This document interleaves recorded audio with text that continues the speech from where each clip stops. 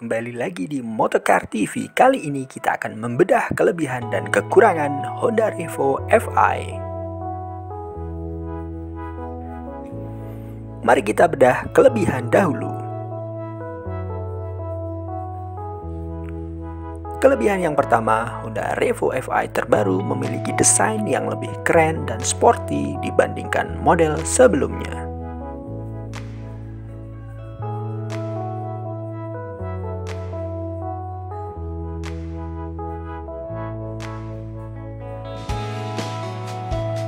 Kelebihan yang kedua, motor Revo FI ini sudah menggunakan sistem bahan bakar injection.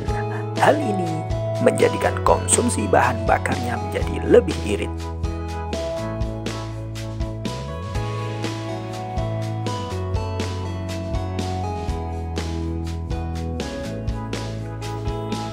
Kelebihan yang ketiga, kapasitas bagasi yang cukup besar, di mana bagasi tersebut memiliki kapasitas 7 liter.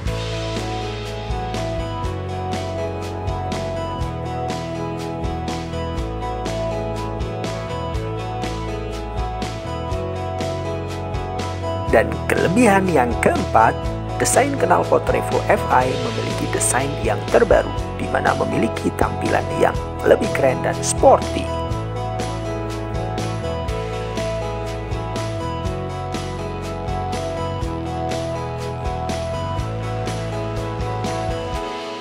Mari kita intip kekurangan Honda Revo FI.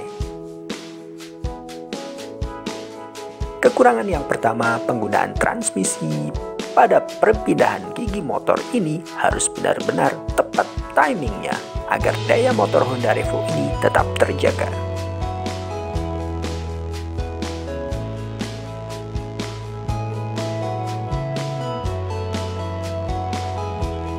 Kekurangan yang kedua, akselerasi motor yang agak lambat karena kapasitas mesin yang tergolong kecil.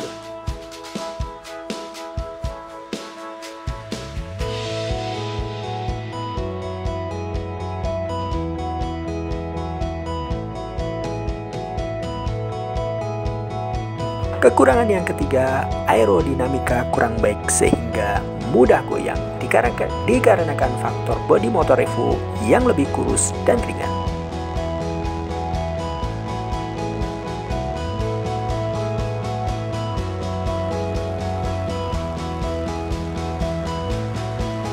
Dan kekurangan yang terakhir, kapasitas mesin Revo paling kecil dan performanya pas-pasan dibandingkan kompetitor lainnya.